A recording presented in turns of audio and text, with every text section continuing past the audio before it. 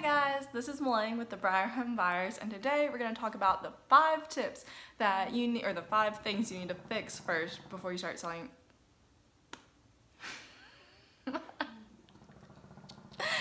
oh, I'm going to start that again.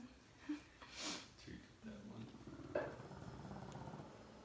guys, it's Blaine with the Breyer Home Buyers. So today our video is about the five things that you should fix before you consider selling your house.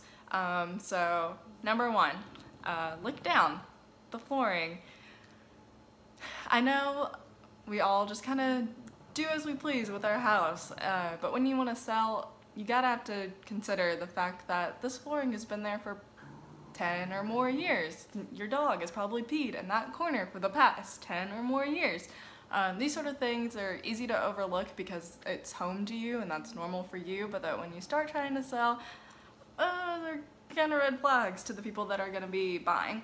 Um, so what we suggest is to either, you know, get rid of the old flooring that's destroyed or really damaged to the point where you can't even clean it up anymore, or go ahead and rent one of those um, really nice big vacuum uh, carpet washer things they're pretty cheap at like Walmart and stuff, so that's tip number one.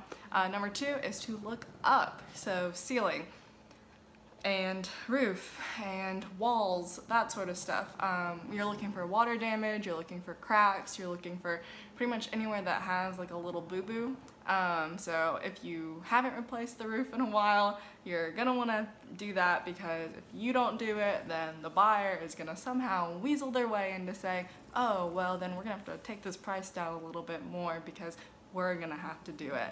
Um, and then you also wanna get rid of any sort of blemishes in the ceiling from who knows, wear and tear of just living there. Um, and then you also want to look around. Uh, so you'll want to repaint the walls for the most part. Um, it's kind of crazy how much just a simple paint job can change the whole look of a house. So, you know, we've you probably raised kids in this house, so you have all of their years of just putting their hands all over everything.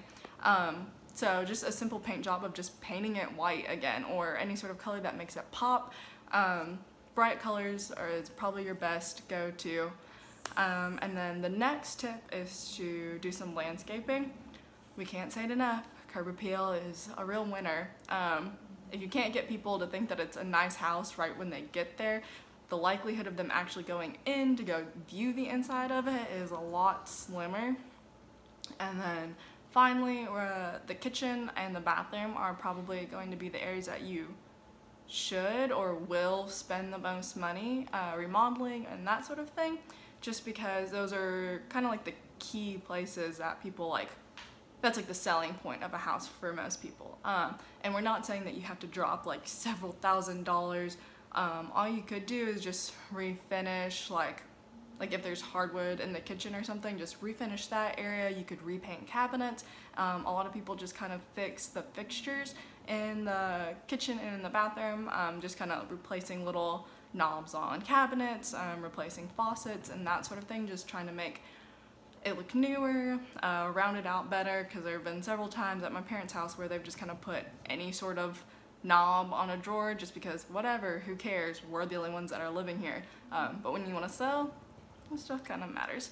But uh, yeah, so those were our five tips for the five things that you need to fix before you consider selling your house.